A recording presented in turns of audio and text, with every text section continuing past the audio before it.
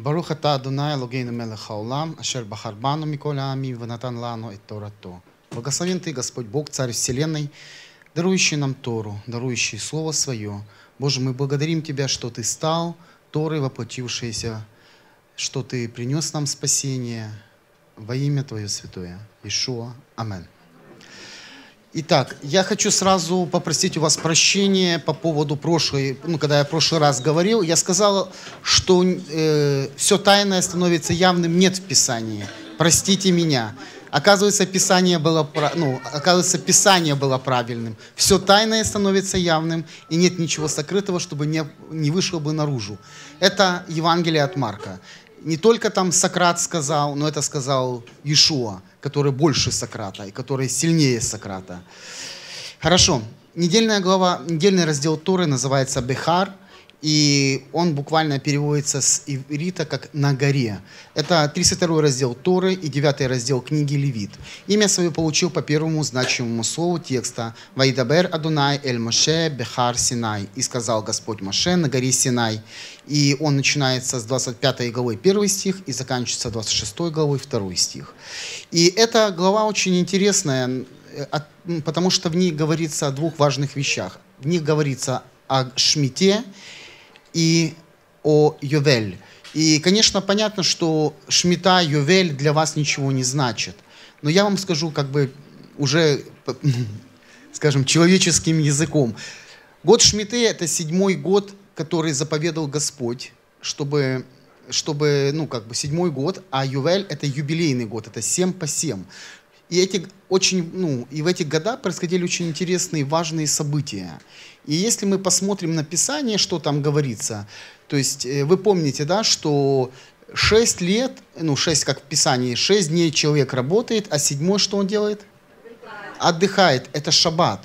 И вот год Шмиты – это шаббат времени, шаббат годов. То есть этот год, когда люди отдыхали, когда они не, не пахали землю, когда они не делали ничего такого, но они просто, ну, как бы, они давали земле отдохнуть. Рабов выпускали на свободу, прощались долги. И 7 по 7, то есть это уже был юбилейный год, 49, то есть 50-й год, это было то же самое. То есть происходили определенные события, например, кто-то продавал свою землю, кто-то продавал свой дом, и потом наступал 50-й год. И человек получал обратно то, что он, ну, то, что ему дали, то есть то, что он продавал. И если, конечно, ну, книга Левит не очень мы любим, потому что это юридическая книга в каких-то моментах. И когда мы читаем вот эти всякие, вот это, вот то, мы не всегда понимаем чего-то. Ну, и может и не интересно. Ну, может кто-то и любит это, но я скажу, я не всегда это любил. Но чем ты больше уже бываешь, пребываешь с Господом, тем ты больше понимаешь, что все не просто так в этой книге. И когда мы начинаем читать эту книгу, мы начинаем видеть характер Бога. И я как бы понял, что год Шмиты и вот этот Ювель – это милосердие Божие. На самом деле, человек, который продал себя в рабство, кто продал себя в рабство? Он сам себя продал. И он мог бы и оставаться этим рабом, но Бог по милосердию своему говорит, отпусти брата твоего. Более того, он говорит, когда он продаст себя в рабство, не относись к нему как к рабу, а будет он у тебя как наемник. И, ну, понимаете, да?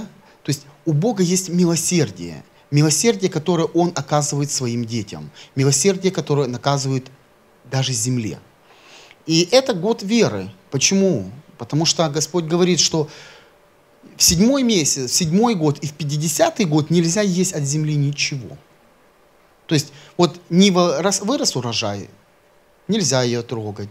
Виноград вырос, нельзя его есть.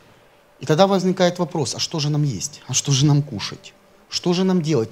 И Господь говорит очень просто, в шестой, ну, в шестой, и, скажем, в сорок девятый, я дам на три года вперед. Господь, а точно ли ты это сказал? Боже, неужели это правда? А Господь говорит, испытай меня. Мы очень часто берем вот этот момент, где говорит Господь, испытай меня, там десятина, да, испытай меня. И здесь та же самая история. Он не говорит, что испытай меня прямым текстом, он говорит, испытай меня. Делай, как я тебе говорю, и я позабочусь о тебе. Это очень важно, потому что мы порою верим в Бога. Мы верим, что Бог сотворил этот мир. Мы верим, что Бог держит все в своих руках. Но вопрос, вера, она включает доверие. Если я верю, я и доверяю. Я верю Ему, и я доверяю Его Слову. Я делаю, как Он говорит, потому что Он верен своему Слову. Это очень важно, потому что мы часто верим Ему, но где-то говорим, Боже, да, будет воля моя, как Твоя. Да буду я делать, ну, понимаете меня. Ну, наверное, я один такой среди вас. И вот однажды э, я хочу просто уже перейти немножко дальше. И откроем Луки 4 главу, 14 стих – и, нач... и возвратился Иешуа в силе Духа Святого в Галилею, и разнеслась молва о нем по всей окрестной стране. Он учил в синагогах их, и от, э, и от всех был прославляем. И пришел в Назарет, где был воспитан, и вошел по обыкновению своему в день субботний в синагогу и стал читать. Ему подали книгу пророка Исаии, он раскрыл книгу, нашел место, где было написано «Дух Господень на мне, ибо Он помазал меня благовествовать нищим, и послал меня исцелять сокрушенным сердцем, проповедовать пленным освобождение, слепым прозрение, спасение, отпустить измученных на свободу, проповедовать лето Господне благоприятное. И вот это слово «лето Господне благоприятное» это пророк Исаия, он цитировал книгу пророка Исаия. Вот это лето Господне благоприятное, это и есть вот этот Ювель, 50, 50 год. Потому что что он делал? Он делал то же самое, что делал Господь в Торе. Пленных, что пленные отпускались на свободу, нищие что?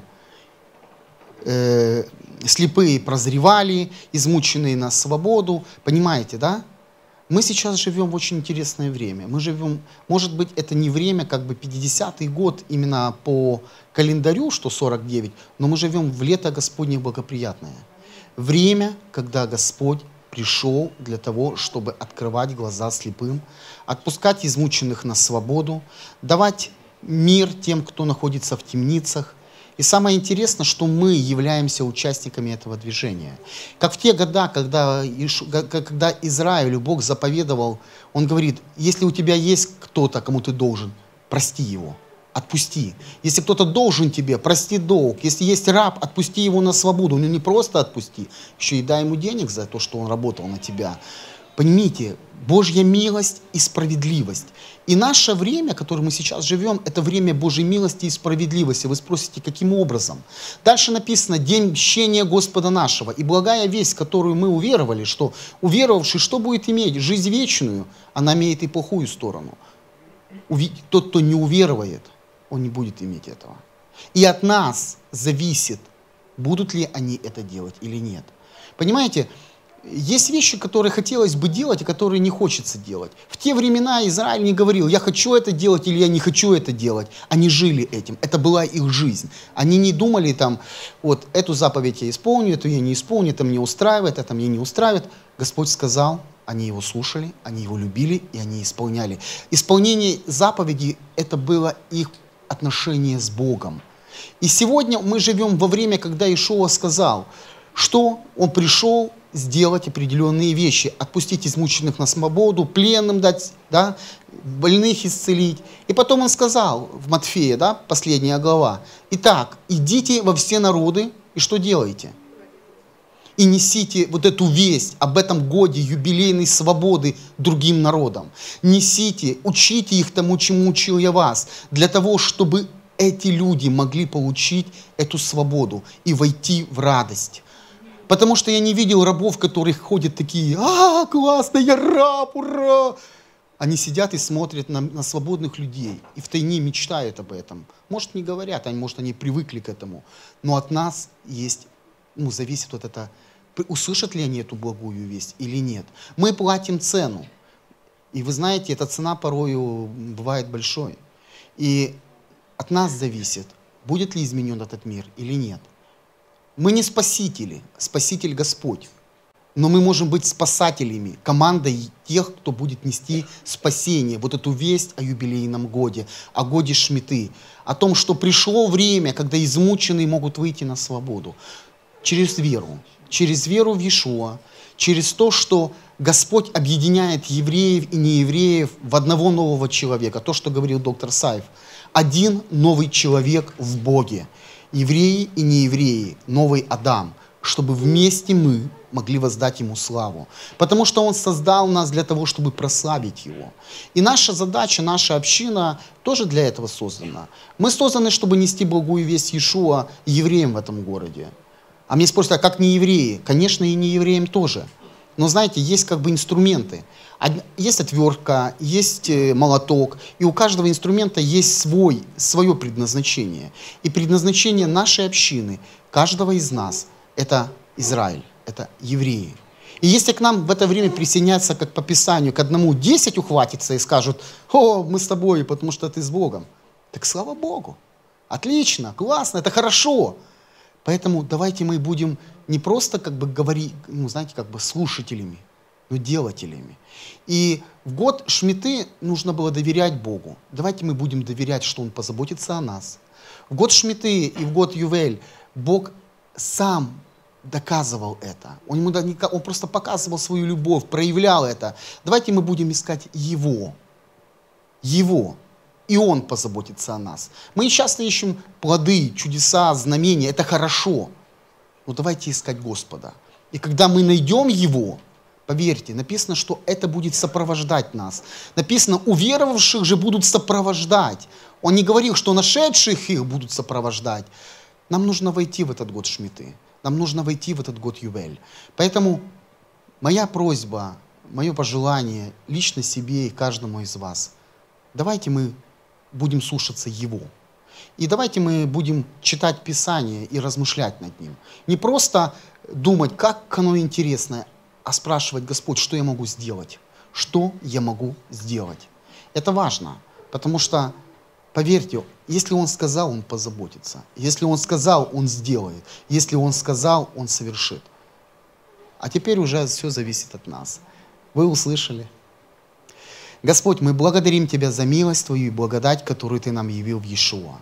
Мы благодарим за лето благоприятное, которое пришло в жизнь каждого, которое пришло в Одессу, Господи. Мы просим, благослови, Господь, эти служения, которые будут проходить, служение Сидорота. Мы просим Тебя, Господи, чтобы сегодня многие измученные вышли на свободу. Мы просим, чтобы многие, кто нуждается в Твоей помощи, получили эту помощь. Чтобы многие, кто просто взывает к Тебе, были услышаны Тобой. Мы просим, чтобы Ты использовал каждого из нас, чтобы Твоя весть, весть об этом прекрасном времени, времени спасения, оно дошло до тех, кто сейчас нуждается в этом, во имя Ишуа. И мы благословляем Израиль, мы благословляем нашу страну, Украину, и мы благодарим Тебя, Господь, что Ты не оставишь нас без своего внимания. Аминь.